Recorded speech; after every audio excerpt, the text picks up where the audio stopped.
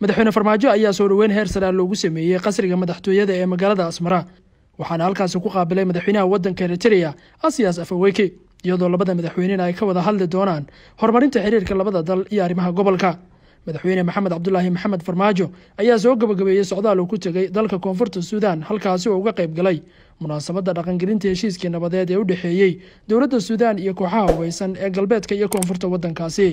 Labada madaxweyne waxay ka wada hadlayaan hanaanka kor loogu qaadi karo iskaashiga siyaasadeed dhaqaale iyo bulsho ee labada dhinac si loo dardargeliyo qorshayaasha ku qotoma ganacsiga maalgashiga iyo isku xirnaanta bulshada gobolka. Madaxweynaha dalka eritrea mudane asiyas afaweki ayaa muujiyey dareenkiisa farxadeed ee booqashada madaxweynaha iyo wafdigiisa wuxuuna tilmaamay in booqashadan ay qayb ka tahay dadaalada wadajirka ah ee labada dowladood ay ku bixinayaan kor u qaadida xiriirka iyo iskaashiga muddada u dhexeeya labadan wadan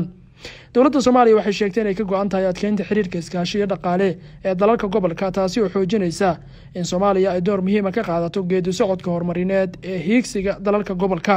Waa markii saddexaad ee madaxweyne farmaajo uu booqasho ku tago eritrea. Booqashadii ugu dambeysay waxay ahayd bishii janaayo ee sanadkan markaas oo madaxweynuhu u aaday safar khuseeya kamidha dhalinta tallaabooyinkii isku furfurnaanta dhanka diblomaasiyadda iyo isku socodka bulshada gobolka midaynta qorshayaasha lagu wiiqayo argagixisada iyo xal u helidda caqabadaha ku hareereysan iskaashiga dalalka gobolka. Booqashada maanta ee madaxweyne farmaajo ee eritrea ayaa ku soo aadaysa iyadoo dalka dariska la-ah ee jabuuti oo isna maanta tegay ra'isul wasaarihiisii hore xasan cali khayre oo la filayo inuu ka mid noqon doono ragga uu loolanka adag kala kulmi doono tartanka madaxtinimada ee soomaaliya